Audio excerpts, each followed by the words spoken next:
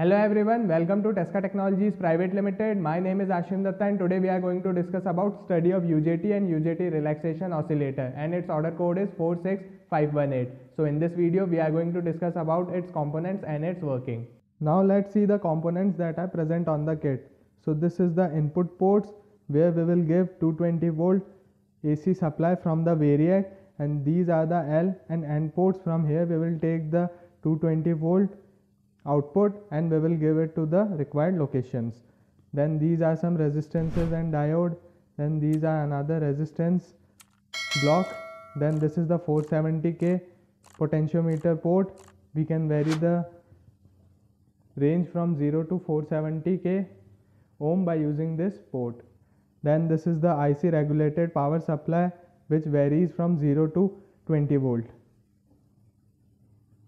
then this is the transistor. Then this is the UJT then this is the pulse transformer. Then these are the capacitor block and these are the resistance block. And this is the power on off LED indication. This is the fuse and this is the main power on off button. Now we are going to perform an experiment on the kit. So the first experiment we are going to perform is to study the Zener diode as voltage regulator. So for that we have to do the connections first.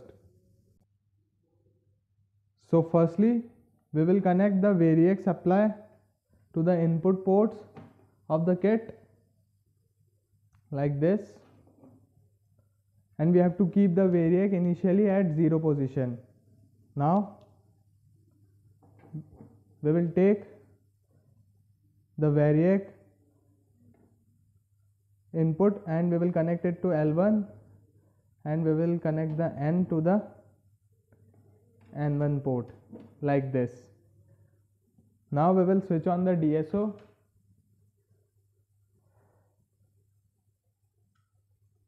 and we will switch on the kit. Now we have to give approx 20 volt AC supply from the variac.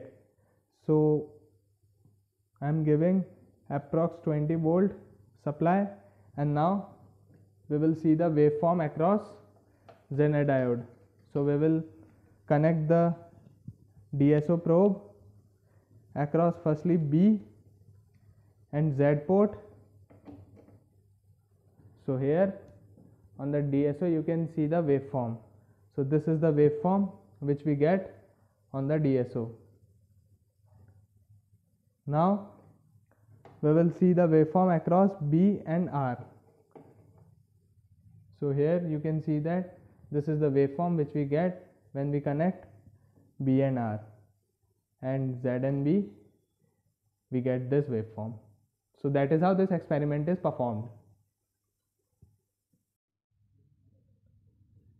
Now we are going to perform another experiment that is to study static emitter characteristics of UJT. So for that we have to do the connections first.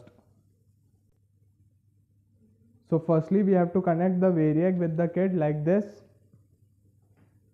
Then we will connect the L port to the resistance R10. Then we will connect the N port to the diode D5 port then we will connect the P port to the emitter of UJT then we will connect the B2 with the positive of regulated power supply that range from 0 to 20 volt. So we will connect the B2 with the positive port. Then we will connect the negative port of the DC supply to the B1 port. Then we will connect the Q port with the B1 port like this. So that is how the connection is done. Now we will switch on the kit. And we have to connect the DSO across emitter and B1 and B2. We will observe the waveform across emitter and B1 and emitter and B2 but firstly we have to give variac supply approx 100 volt. So here I have given approx 100 volt supply and now we will observe the waveform on the DSO so here when I connect emitter and B2 so this is the waveform which we get on the DSO and when we rotate the IC regulated power supply port then we can see the changes in the waveform. Now I am connecting emitter and B1 so here you can see that these are the changes that we see on the waveform.